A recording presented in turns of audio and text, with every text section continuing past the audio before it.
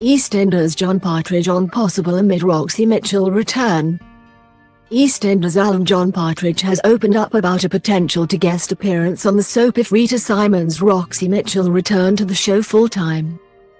Partridge played Christian Clarke from 2008 to 2012, with guest appearance from 2014 to 2016, while Roxy was killed off in 2017.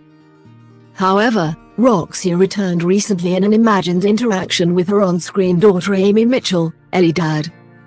Partridge spoke to Radio Times about potentially returning to the series if Simons did so full-time. Their characters were very close and shared a fun-loving friendship viewers adored. Firdaus Shamim, Getty Images. Related, EastEnders star on Split Fears for Sharon and Keanu.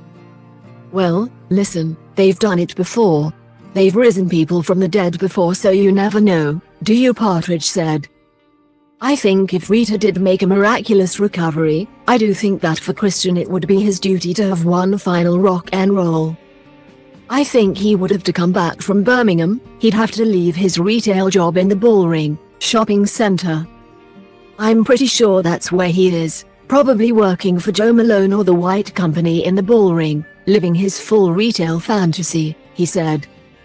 Related, EastEnders' first look as Cheryl Baker makes cameo.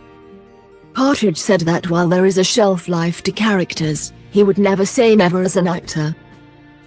Ellie what though, I can still rock that vest.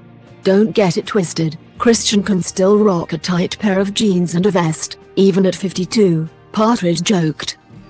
EastEnders airs on Mondays, Thursdays at 7.30 pm on BBC One. The show also streams on BBC iPlayer. Read more EastEnders spoilers on our dedicated homepage. You might also like Animal Crossing New Horizons is finally announced on Nintendo Switch. How to watch Amazon Prime on your TV, smartphone and tablet, and enjoy Good Omens online.